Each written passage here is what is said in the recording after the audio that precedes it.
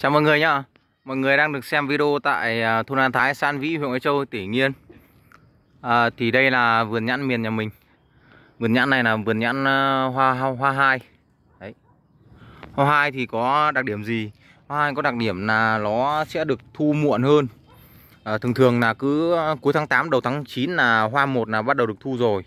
Thế nhưng mà nếu mà là hoa hai ấy, thì nó phải là vào giữa tháng giữa giữa giữa tháng 9 cơ nó rơi vào từ uh, mùng 2 tháng 9 bắt đầu đổ đi là mới bắt đầu là thu hoạch. Thì uh, nhãn ấy thì uh, nói qua một chút về giá. Lúc đầu mùa thì khá là cao. Uh, nó rơi vào tầm 9.000 đến 10.000 một cân nhãn đẹp. Còn uh, vào tầm cuối tháng 8 gì đấy đầu tháng 8 gì đấy thì 9.000 đến 10.000 nhưng mà đến cuối tháng 8 mà giữa tháng 8 ấy, 15 tháng 8 đến tầm 20 thì bắt đầu nó rẻ bởi vì lúc ấy nó bị mưa. Thứ hai là lúc ấy nó bắt đầu nó hơi rộ. Đấy, nó rộ lên rồi xong bán. À, lúc ấy tập trung bán thì giá nó sẽ xuống, nó rẻ hơn nó rơi vào tầm 7 000 Nhưng mà đến bây giờ thì uh, lại đầu đầu tháng 9 là bắt đầu là nó hết cái lớp hoa một rồi thì bắt đầu nó lại đắt.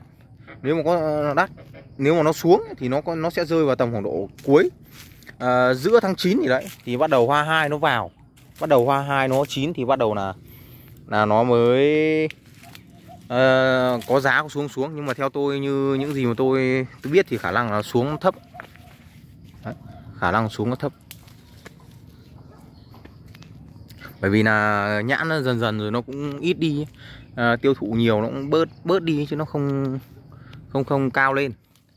Ai nói một qua một chút cho các bác nào là chưa biết về nguồn gốc xuất xứ của nhãn miền thì nhãn miền có nguồn gốc xuất xứ tại thôn An Cảnh, Sam Tử, huyện Quế Châu, tỉnh Nhiên do do bác tên miền Nai tạo lên. Thì uh, bác uh, mọi người đã lấy cái tên này để dành cho cái tên của cái giống nhãn này. Nhãn miền thì uh, có ưu nhược điểm là rất là sai hoa sai quả uh, dễ chăm sóc ít sâu bệnh. Như các bác có thể thấy là cái vườn nhãn nó sai như này là biết được là cái uh, cây nó khỏe rồi. Và cái uh, à, quả của nó thì những năm đầu tiên ấy những năm đầu tiên ấy quả nó thường là vồ to. Thì à, nhưng mà càng về nâu ấy, những cây già ấy thì là vỏ nó sẽ mỏng hơn và hoa nó sẽ à, vỏ nó mỏng này à, mã nó vàng này cùi nó dày hạt nó bé. Thì à, đấy là ưu điểm nhãn miền à, một chút về đặc điểm à, sinh học của nó và cái đặc tính của nó. Còn về cái sinh trưởng phát triển nó thì rất là khỏe nhá. Khỏe lắm. Khỏe nhất theo tôi nó sinh trưởng phát triển khỏe nhất trong các loại nhãn đấy. Đâm chồi lẩy lộc rồi là ra hoa kết trái là nó dễ nấy hơn so với các giống nhãn khác. Nhưng mà hiện tại mà để mà nói mà à, có cái chất lượng cao nhất và giá thành cao ấy thì nó chỉ có nhãn siêu ngọt thôi. Nhãn siêu ngọt thì tôi cũng có rất nhiều à, video nhãn nói về nhãn siêu ngọt rồi thì mọi người có thể tìm ờ, lại. Hoặc là để một ờ, hai hôm à, sắp tới đây thì tôi đừng nghỉ thì tôi sẽ đi quay về nhãn siêu ngọt. Còn nhãn Hà Tây ấy, T2 và T6 ấy, thì hiện tại là hai cái giống ấy nó ít nó chăm sóc nó khó. Thứ hai lấy lấy quả nó cũng khó nữa nên là dân cũng không trồng nhiều. Để mà nói ra mà cái cây nhãn mà thuần nhất à, ai cũng có thể trồng được. Thì chỉ nhãn miền thôi. Đây. Sai hoa sai quả. Thì thực ra là tôi cũng ờ, không muốn thưởng thức đâu muốn ăn đâu. Bởi vì là hiện tại là đang bị nhiệt đang bị nhiệt miệng. Thế nên là ăn vào bây giờ là nó nó nó ấy lắm. Ăn nhiệt miệng ăn vào bây giờ là nó nó càng nóng nóng thêm.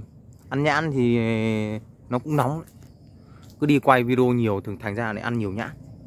Chứ thường thường ăn ít ít nhãn không không ăn nhiều đâu. Mà ờ, mỗi gia đình ăn ờ, một hai quả hay là năm bảy mươi quả một ngày vẫn chắc vẫn cũng ok. Vấn đề gì đây quả này to chưa? Ăn thử quả.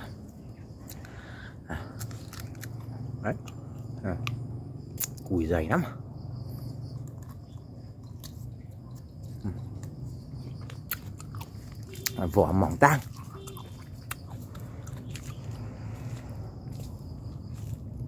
Ăn cái nhãn miền này thì nó cái cái vị của nó là chỉ là vị ngọt thanh thôi nhé chứ nó không ngọt sắc. Nếu mà nói đến ngọt sắc thì chỉ có nhãn um, siêu ngọt thôi. Ăn nhãn miền này thì ờ, thì nó là ngọt thanh đổi lại cái mã này rất là đẹp. Đấy. Nhưng mà nhãn uh, mã của nhãn siêu ngọt thì khi mà nó chín thì nó xuống mã. Mã nó hơi màu gỗ nó không được vàng. Thì video này thì uh, giới thiệu qua một chút về vườn nhãn uh, miền hoa hai của nhà mình. Thì uh, à, qua video cũng giới thiệu cho các bác rằng ở Hưng Yên đang là mùa thu hoạch nhãn. Thì các bác nào hãy về Hưng Yên để thăm quê hương chúng tôi và để thưởng thức những chùm nhãn ờ, của Hưng Yên. Thì video kết thúc lại tại đây. Hẹn gặp lại các bác ở những video tiếp theo. Chào các bác nhé. Nhãn miền.